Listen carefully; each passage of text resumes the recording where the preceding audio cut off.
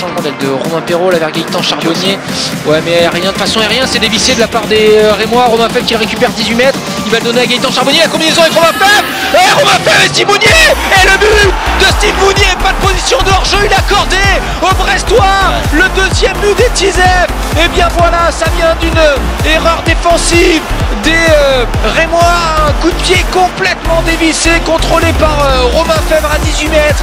Il combine Romain Fèvre et euh, c'est finalement euh, Steve Mounier qui, après cette frappe contrée, euh, arrive à, mettre ce ballon au fond des filets de Raskovic